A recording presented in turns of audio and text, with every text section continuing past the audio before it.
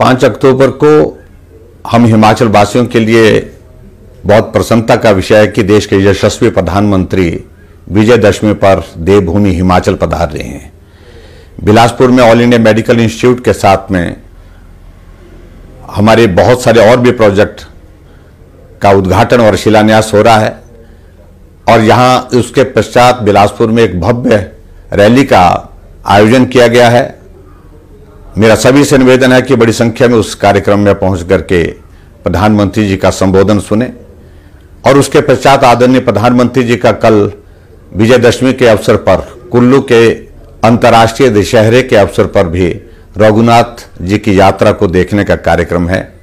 और वहाँ पर भी मैं आदरणीय प्रधानमंत्री जी का देवभूमि हिमाचल प्रदेश की ओर से हार्दिक अभिनंदन करता हूँ, स्वागत करता हूँ।